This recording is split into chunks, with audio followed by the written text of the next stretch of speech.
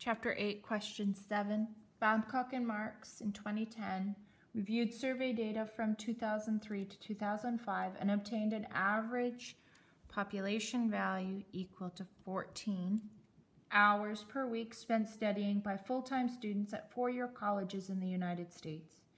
To determine whether this average has changed in the past 10 years, researchers selected a sample of 64 students 64 of today's college students and obtained an average of M equals 12.5 hours.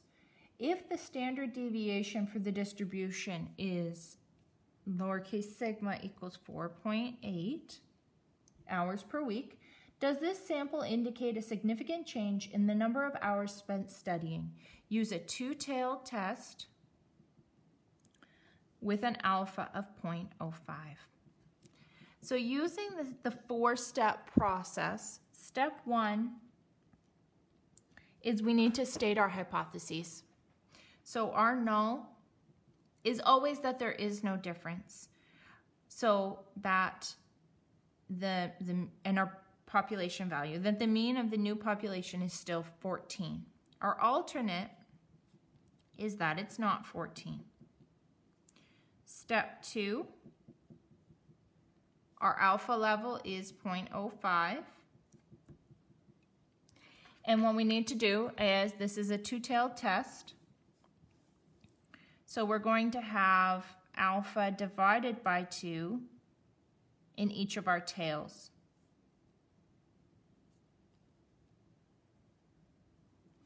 So if we go to the back of the book and we look up in the proportion in the tail, that is equal to 0.0250. That is a z-score of plus or minus, because it's two-tailed, plus or minus 1.96.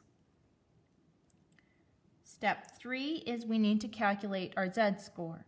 Before we can do that, we need to calculate the standard error. So what we're going to do is we're going to take the standard deviation, divide by the square root of n. So the square root of 64 is 8. 4.8 divided by 8 is 0 0.6. And we'll plug this into our z-score formula. So we're going to have the mean, subtract the mean of the population divided by the standard error. So we're going to have 12.5 subtract 14 divided by 0 0.6.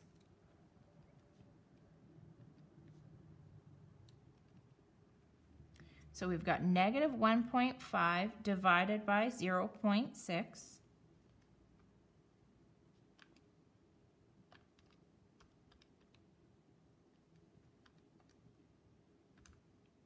And that is 2 point, negative 2.5.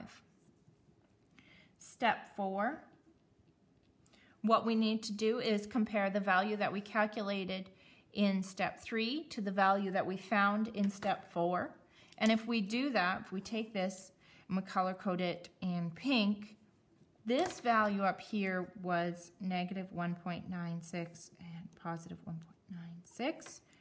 And our value is out here. It's more extreme. This is 2.5.